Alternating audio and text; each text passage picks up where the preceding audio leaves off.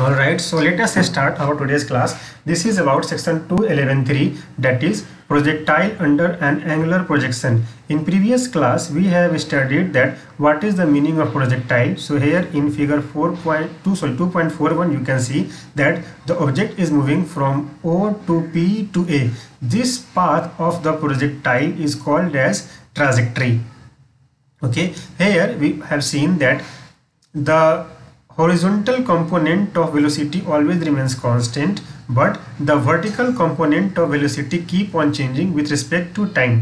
As you can see in figure 2.40 here two balls are dropped at same time from same height okay? The time taken by both these balls to reach same height is equal okay? So as you can see here on the movement of the cursor the time taken by the blue ball to reach here and that of the red ball to reach here means between same height is always equal okay? This height is called as vertical height. So now we will start. Projectile under an angular projection means when the projectile is thrown at some angle with uh, horizontal line okay? As you can see here in this figure okay? The projectile is moving in this direction okay? In this uh, curved u-shaped direction. So this is called as projectile motion under some angle this projectile motion takes place when the initial velocity is not horizontal but at some angle with the vertical as shown in the figure okay? Means here the projectile is sent with some angle okay? Theta as given here theta with the horizontal or with the positive x-axis it is uh, thrown. Coming to this oblique projectile what is the meaning of oblique projectile? Let us see for example, water ejected out of a hose pipe held obliquely. So here you can see the farmer is irrigating his land, okay, and the water coming out of the nozzle of this boarding, okay, from an angle theta with horizontal and the path of the water you can see is in the form of a projectile. Likewise, another example is cannon fired in a battleground, okay, here the path of cannon will be a projectile path or trajectory Consider an object thrown with initial velocity u at an angle theta with the horizontal. Okay, so you can see figure 2.42 and figure 2.43. Okay, as given here, the farmer is throwing water in his field. Here, velocity in u axis or sorry velocity in x axis is given by u is equal to ux i cap plus u by j cap the initial velocity given to the object okay is ux i cap plus uy z cap. Here the components of velocities are taken in x-axis and in y-axis. Okay, we know very well that ux will be equal to u cos theta. Okay, that is the horizontal component of velocity and uy is u sin theta which is the vertical component of the velocity. Since the acceleration due to gravity is in the direction opposite to the direction of vertical component uy, this component will gradually reduce to zero at the maximum height of the projectile. Okay, so uh, let us try to understand this with this help of figure 2.42b. Initially, the pro the projectile or the object was thrown at an angle theta with horizontal. Here, the x component of velocity is ux is equal to u cos theta and y component is uy that is u sin theta here the there two things happen that the because of gravity the object will be pulled in downward direction. And because of uy sine theta that is u sine theta the object will move in upward direction. Let us take downward direction as positive y-axis and upward direction as positive negative y-axis. In that situation u sine theta will be negative. Once again acceleration due to gravity is in the direction opposite to the direction of vertical component uy okay? It means that uy is in upward direction and g is in downward direction means they are opposite to each other okay? This component will gradually reduce to zero at maximum height of the projectile. That means when the projectile will reach at point a okay? Means at maximum height the upward velocity of the projectile will become zero okay? As i have said you in the class that for half first half of the projectile okay the horizontal component of velocity that is ux cos theta will remain constant but as the projectile will move upward its upward velocity will keep on decreasing and at a certain height okay or the maximum height of projectile uy will become zero. So here you can see at point a we have only ux that is equal to u cos theta and uy is equal to zero because at point a the particle has stopped and at that point it has started moving in downward direction. Okay at this maximum height the same gravitational force will push the projectile to move downward and fall to the ground okay? So when the particle will move at the maximum height a okay because of the gravity the particle will move downward as well as it will move forward. So the downward velocity will be uy and that will be positive because it is in the direction of acceleration okay? And again the forward velocity that is in the direction of x-axis is given by u cos theta. There is no acceleration along x direction through the motion. Once again there is no acceleration along x direction throughout the motion. That means as you can see the path of projectile starting from O going to A and coming back to suppose this ground here B okay horizontal component of the velocity remains constant. That means in horizontal direction there happens no acceleration. In any kind of motion in any kind of linear motion if suppose uh, the velocity remains constant acceleration is equal to zero.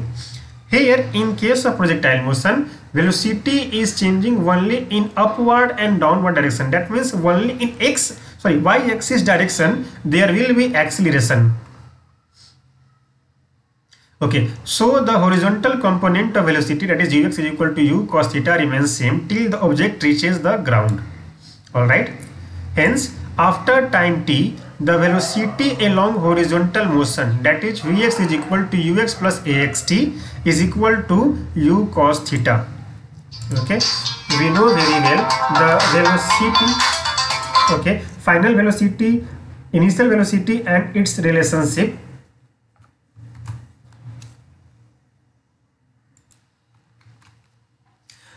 okay once again. So in x-axis direction the velocity will remain constant that is equal to u cos theta and acceleration is equal to zero.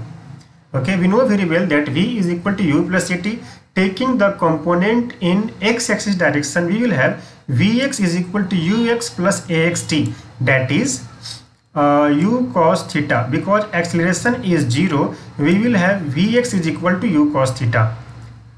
Once again in this equation vx is equal to ux plus at because ax is 0 acceleration in x-axis is 0 we will have vx is equal to ux or vx is equal to u cos theta the horizontal distance traveled by projectile in time t is sx is equal to uxt plus half axt square. Always remember that s is equal to ut plus half at square. So when we say s in x-axis, we write this as sx that is equal to uxt plus half axt square. Again here because ax value is 0, we will have sx is equal to uxt only.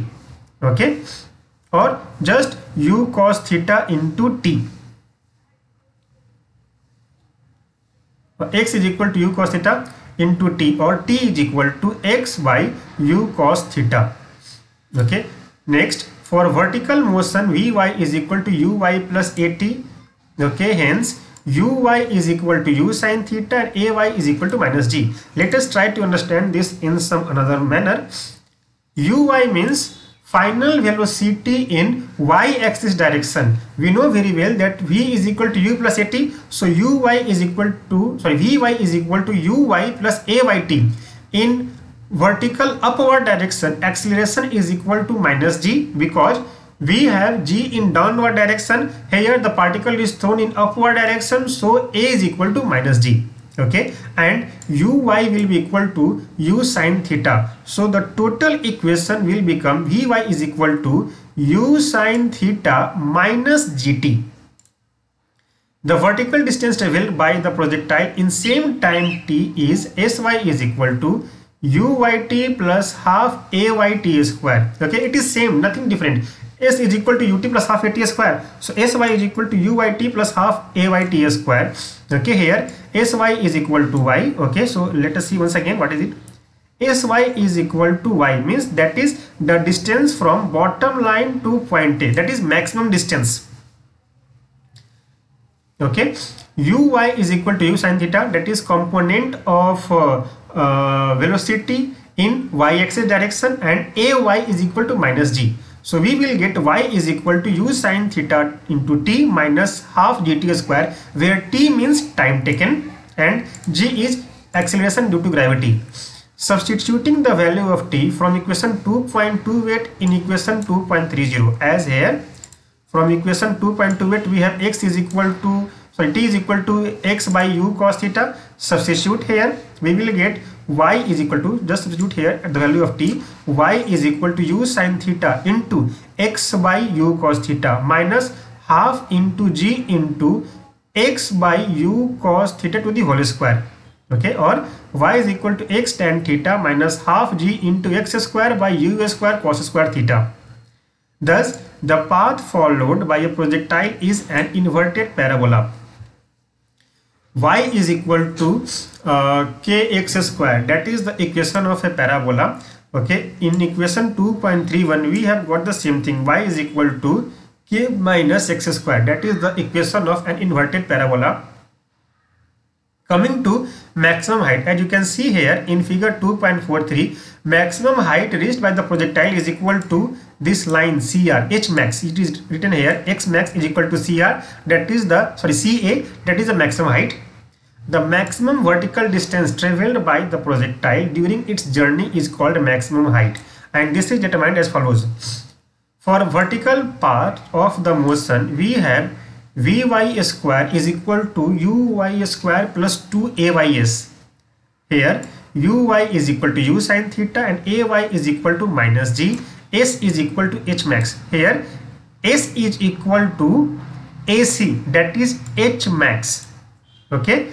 AY is equal to minus G. AY means uh, acceleration in y-axis direction and that is equal to minus g. And uy is equal to u sine theta. That is uy means uh, component of velocity in y-axis okay? Because initially the velocity in y-axis direction I'm sorry uh, when the object will uh, reach at point A its upward velocity will be 0 so here Vy is taken as 0 so just we have Vy is equal to u square sine square theta minus 2gh max.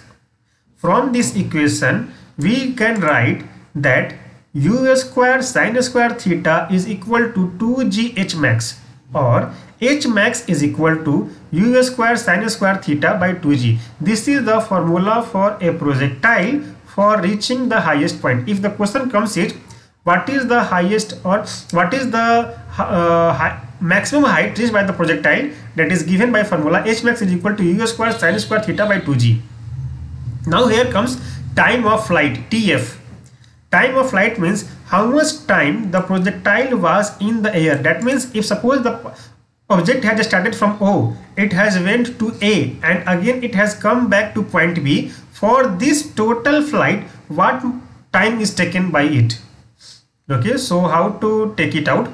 The total time taken by the projectile from the point of projectile till it hits the horizontal plane is called time of flight. Means starting from point O going to A and again hitting the ground at point B. Okay, this part is called as trajectory of projectile and the time taken is called as time of the projectile. The time of flight is time taken by the projectile to go from O to B via point A. That means from O to A and then from A to B. We know that Sy is equal to Uyt plus half Ayt square. Here Sy is equal to y is equal to 0. See, the particle has started from O and it has come back to same height. Okay, that means vertical values uh, sorry vertical displacement is equal to 0 in this figure 2.43 horizontal displacement is equal to the distance from O to B okay? But vertical displacement is equal to 0 where the project projectile has started from the point and it has again came back to same height. So you will have sy is equal to 0 okay?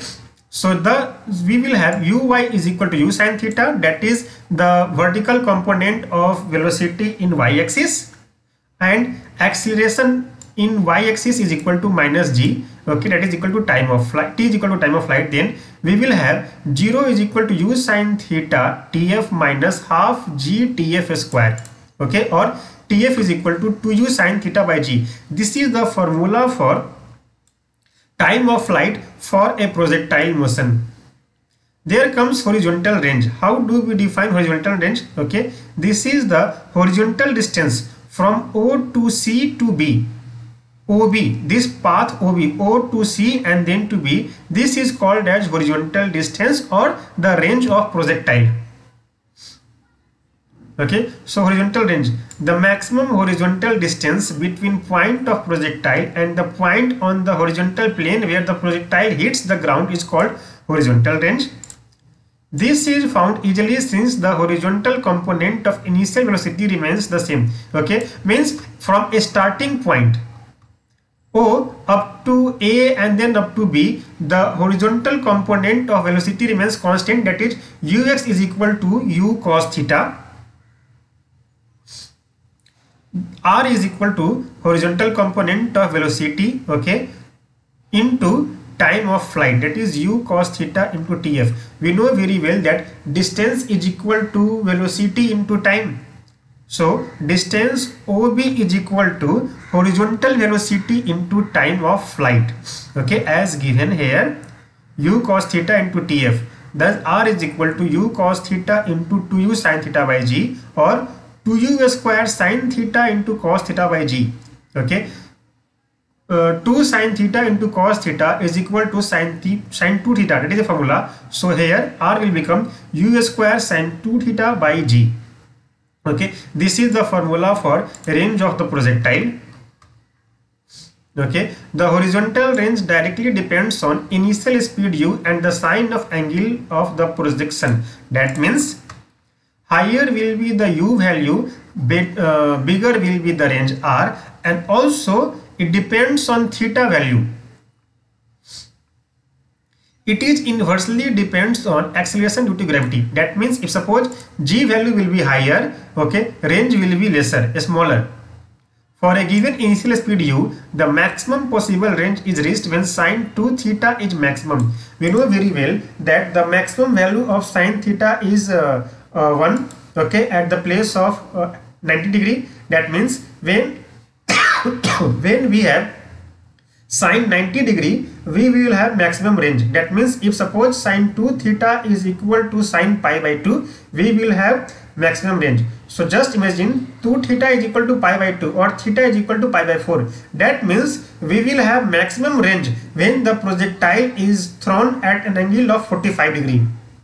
Okay? So and in that situation r max is given by u square by g okay so this is all about projectile motion. Okay the next thing that is other uh, equations we will study in the class. So this is all about projectile motion. If you have any doubt related to today's class online class you can ask your comment in the comment section or in the class. So i hope you have enjoyed this class and have learned a lot of things. Till next video take care of yourself. Bye bye